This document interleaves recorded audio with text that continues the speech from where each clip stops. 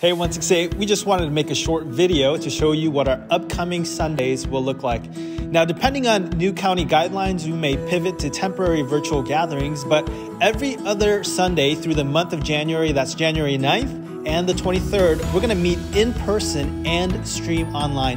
On January 16th and the 30th, we will gather only online. Now, to maximize social distancing, and as one added safety measure, this Sunday and on January 23rd, we contacted the Celebrity Dance Studio, which is just feet away from our current meeting location.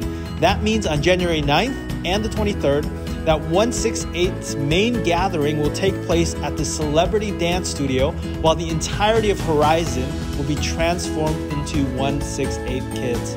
So when you arrive, you have two different options. First, if you are not arriving with any children, go directly to Celebrity Dance Studio. If you want to skip past what the kids will be doing, you can go to the below minute marker. Second, if you're arriving with kids, come in and drop off your kids inside our usual gathering space. As soon as you walk in, you will note the check in table and our welcome sign to help speed up the process. You can also check in your kids online at the link below. Again, to ensure maximal social distancing, the entirety of Horizon will be utilized for 168 kids only. Additionally, we have added three new HEPA purifiers throughout both buildings. But here's what I to ask parents.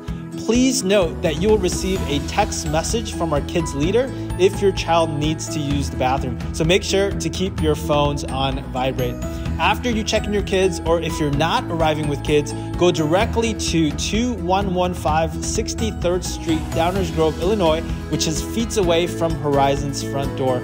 Once you enter Celebrity Dance Studio, we will have a shortened worship gathering, a pared down and intimate worship team, socially distanced seating, and HEPA air purifiers. As we shared with you on January 2nd, if we work with our health and governmental agencies, we will get through this together. But just allow me to end by saying this is not the time to coast, but to continue to take ownership over your faith journey by gatherings and small group.